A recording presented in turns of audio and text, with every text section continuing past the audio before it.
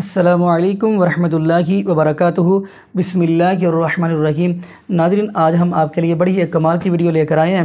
ये वीडियो है, एक इंडिया के अंदर एक्टर है, अदाकार है तो गालबन नाम उसका अक्षय कुमार है, और उसने इन हिंदुओं के बुतों की, मूर्तियों की बड़ी ही अच्छे वाली की है। वो क्या कह रहा है कि ऐसे ये इनके ऊपर, बुतों के ऊपर दूध गिराते रहते हैं, दूध गिरा के ये गुनाह करते रहते हैं। क्या फ़ायदा है इनके दूध गिराने का? तो नाजरीन, यकीन मानिए, हम वो वीडियो देखते हैं कि आखिर उसने कैसे कैसे जुमले बोले हैं और फिर साथ ही हम आपको जाकर हाफिज़ ताला की वीडियो सुनाते हैं। तो फिर इन इसी वाले से हम भी बात करेंगे। तो चले नाजरीन मिलकर वीडियो देखते हैं। Much of oil and milk on God. Where is it written कि God says मेरे को दूध देना। एंड हनुमान सिंह, मेरे को तेल डाल। अल्लाह एक है, इसमें किसी का झगड़ा नहीं है। उसकी इबादत करनी चाहिए, इसमें किसी का झगड़ा नहीं है। झगड़ा है लाइफ स्टाइल का। झगड़ा है कल्चर का, संस्कृति का। और हर मज़हब अपनी संस्कृति को अल्लाह से जोड़ता है कि अल्लाह यह कह रहा है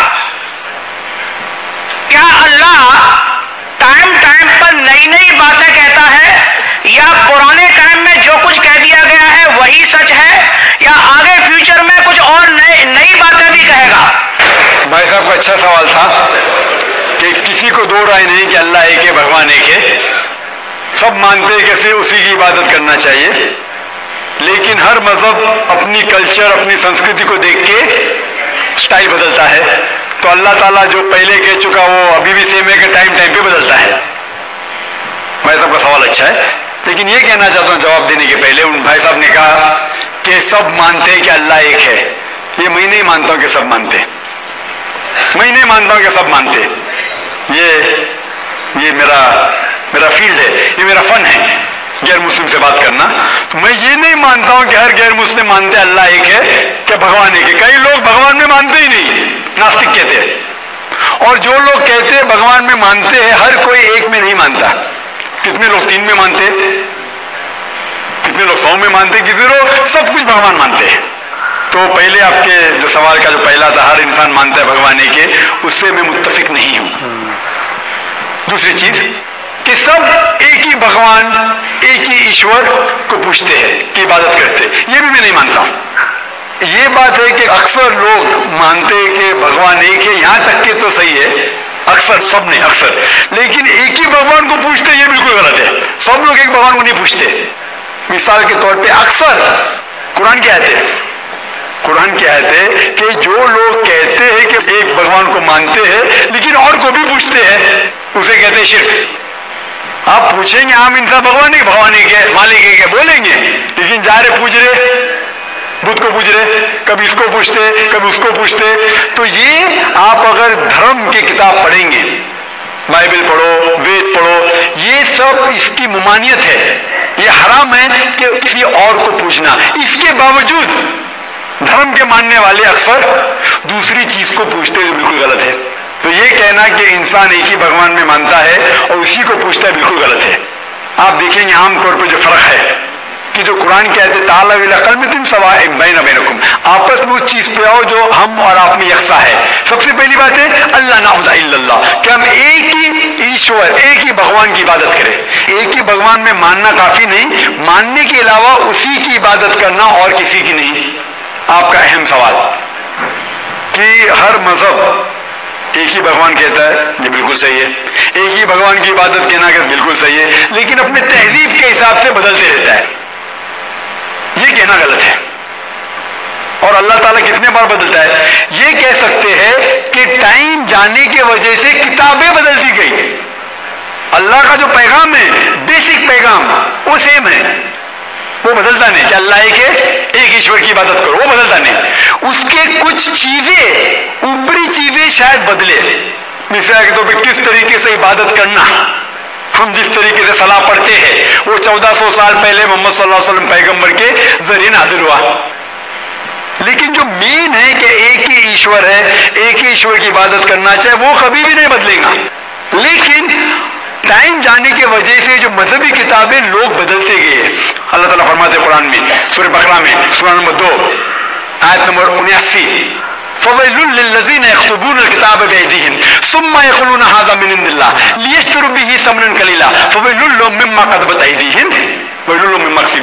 इसकी मानी है कि लानत वो लोग पे जो लोग किताब अपने हाथ से लिखते हैं और कहते हैं अल्लाह की तरफ़ से है। लानत है उनके ऊपर जो कमाते हैं और लानत है उनके हाथ के ऊपर। तो अल्लाह ताला फरमाते हैं कि किताबें बदली गई है। तो जितने मजहबी किताबें हैं आज की तारीख में सारी कुरान मजीद को छोड़ के विलियम मोर, एक क्रिटिक है, इस्लाम के खिलाफ किताब लिखता है। बहुत शिद्दत से इस्लाम के खिलाफ है। उनने लिखी थी 200 साल पहले कि शायद एक ही मजहबी किताब है, जो पूरी पाक है 1200 साल तक के, वो है कुरान। तो एक ही किताब जो महफूज है, क्यों? अल्लाह सुबहाना वाली कहते हैं कुरान में सूर्य हिजर में। सूर्य नंबर पंद्रह, आयत नंबर नौ में कि मैंने कुरान नाजिल किया है और मैं इसकी हिफाजत करूँगा। जितने पहले किताबें आए, वो वक्त के हिसाब से बदल दिए। और अल्लाह सुबहाना तआला ने उसे महफूज रखने की ज़रूरत समझा ही नहीं। क्यों? क्योंकि जितने पैगंबर मोहम्मद के पहले आए, वो पैगंबर सिर्फ़ अपनी कौम के लिए आए और कुछ वक्त के लिए आए। ता क़यामत तक नहीं। ईसा सलाम सिर्फ़ यहूद के लिए आए, मूसा सलाम उस वक्त के लिए आए। जितने पैगंबर आए, अपनी कौम के लिए आए और कुछ महदूद वक्त के लिए आए। एक कौम के लिए आए। लेकिन मोहम्मद सल्लल्लाहु आखिरी पैगंबर सिर्फ़ मुस्लिम या सिर्फ़ अरबों के लिए नहीं आए, सारी इंसानियत के लिए आए। और जो कलाम उनके ज़रिए नाजिल हुआ, अल्लाह कुरान, वो सिर्फ़ मुस्लिम के लिए नहीं और सिर्फ़ उस वक्त के लिए, वो सारी इंसानियत के लिए और ताक़यामत तक है। तो क्योंकि ये किताब महफूज रखने वाली किताब है, ये किताब कभी नहीं बदलेंगी, ये आखिरी है। और अल्लाह ताला फरमाते सूर्य मायदा में, सूरह में पाँच, आयत नंबर तीन में, क्या मैंने इंसानों के लिए इस्लाम चुना? और उनके लिए ये मज़हब, सबसे बेहतरीन मज़हब चुना? और ये मुकम्मल हो गया, इसके बाद कुछ चीज़ नई नहीं आएँगी और कुछ चीज़ निकाली नहीं जा सकती। तो पहले जितने किताबें आए, जितने नाजिल हुए अल्लाह ताला के, वो बदलते गए क्योंकि उसे महफूज रखने की ज़रूरत थी नहीं, क्योंकि वो पैगाम, पूरा मुकम्मल पैगाम ता क्यामत तक था ही नहीं।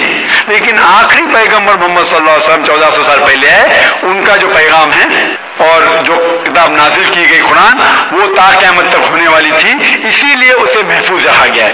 तो अल्लाह सुबहाना तआला ने 1400 साल पहले समझे कि ये वक्त ही सही है कि इंसानियत उस दर्जे पे पहुँच गई कि वो कुरान को समझ सके। आप मुझे पूछेंगे कि कुरान पहले क्यों नाजिल किया? चौदह साल पहले क्यों किया? दस हज़ार साल पहले क्यों नहीं किया? तो मैं कहूँगा कि अल्लाह ताला हमारा खालिक है। वो जानता है कि इंसान कब किस चीज़ समझ सके। मिसाल तो मेरा बेटा कहेगा कि मुझे डॉक्टर बनने का डायरेक्ट मेडिकल कॉलेज में डालो। मैं बोलूँगा, पहले बाय टेंथ करो स्कूल जाओ, फिर कॉलेज जाओ, फिर मेडिकल कॉलेज जाओ। तो उसी तरीके से अल्लाह सुबहाना होता हमारे खालिक है।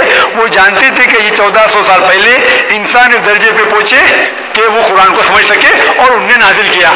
और अभी ये आखिरी किताब है इसके बाद कोई भी नया पैगंबर नहीं आएगा। इसके बाद कोई कहता है कि मुझे अल्लाह ताला से वही आती है, उसको साइकेट्रिस्ट की ज़रूरत है। साइकेट्रिस्ट दिमाग की बीमारी है। जी नादिन आपने ये वीडियो मलादा फरमाई और आपने उस सेक्टर की वीडियो देखी और जाकर नाइक हाफिज़ा ताला ने भी बड़ी कमाल की गुफ्तु की है। और मैं दुआ करता हूँ, अल्लाह पाक जाकर नाइक हाफिज़ा ताला को सेहत वाली, ईमान वाली लंबी ज़िंदगी अता फरमाए और अल्लाह पाक ऐसे इनसे दीन इस्लाम का काम लेता रहे। तो नाजरीन, देखें, अगर देखा जाए, ये जो दूध है यह नबी पाक वसल्लम ने बड़ा ही इसको पसंद किया है। हम सैर बुखारी के हदीस पढ़ते हैं।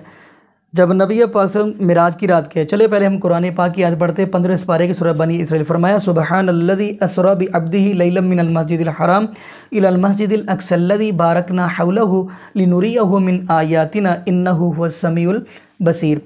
पाक है वो ज़ात जिसने अपने बंदे को सैर करवाई। यहाँ पे अबद का लफज बोला गया है। अब नबी पाक सल्लल्लाहु अलैहि वसल्लम मेराज की रात गए हैं। तो आपके सामने रखे गए दो चीज़ें, क्या एक दूध और दूसरा दूसरी शराब रखी गई है। अब नबी पाक सल्लल्लाहु अलैहि वसल्लम ने अगर पसंद किया है तो दूध को पसंद किया है। और माज अल्लाह जिसको नबी पाक पसंद करे और ये ालम हिंदू उसी दूध को मुआज़ अल्लाह और कैसे ये बहा दें कैसे मूर्तियों के ऊपर गिराएँ और माजल्ला अस्तफरल्ला कैसे नालियों के अंदर ये जाए, ये कितनी बड़ी तोहन है। जबकि ये नबी पासलम ने दूध को पसंद किया है।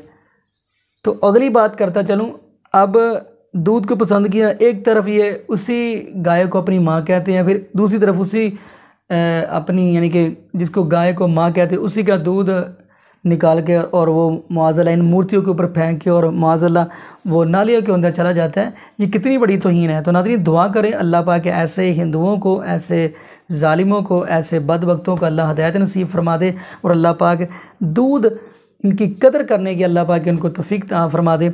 जजाकम्ला खैरा। अहसन जदा असलकम वरहमल वर्का